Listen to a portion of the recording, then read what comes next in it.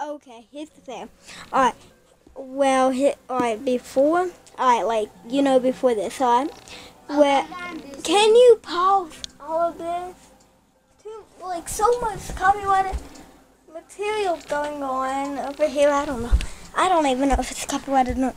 But anyway, see this here? This is the Shadow Hawk um, Tactical X800 flashlight. It's really good. Now I want to show you this. To, re- I had to actually restart the vid because, um, like, someone decided to put copyrighted content and alright alright i'm back here. Now this here it's really good. Now this is the light itself. So it's really durable like so i want to show you some of the modes. See uh, well you that's stun mode that's sos and that's like normal. But let me show you how bright this is. You will be amazed. Eh, like, this is it, normal. Like, I'm gonna put the camera right here so you can see. Like, this is normal mode. And this is like zoom, like spotlight mode. So, it, like, anyone breaks in, you have a go-to light. Though, see, it's pretty good. Now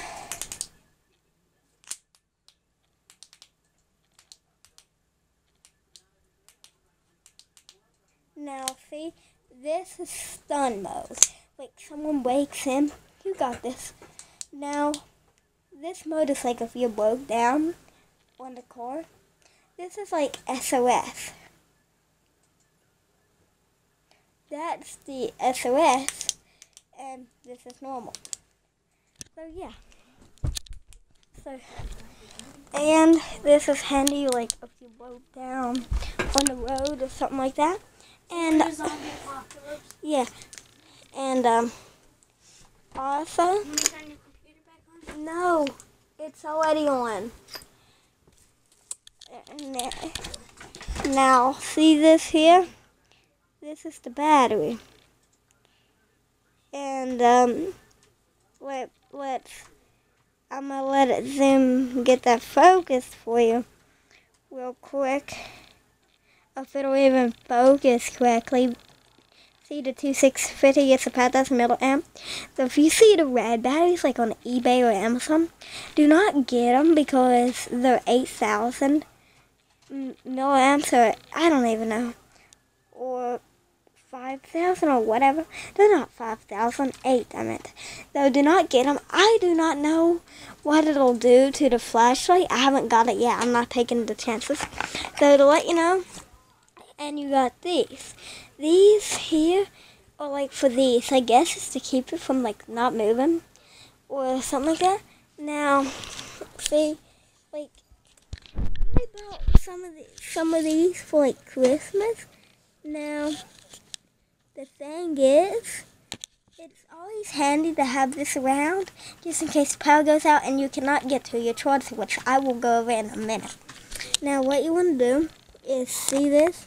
You want to put this in like this. Make sure it goes in. Now you want to put it in like that. And see, it's in like that. And then you want to get your little cap here and, you know, put it on. Like like what you would do normally. It's not that hard or anything. Actually, it's not even hard. Now, see, it's equally bright, but here's the thing. I'm not going to run it on this power for too long because I don't know how, how you know, long they'll last.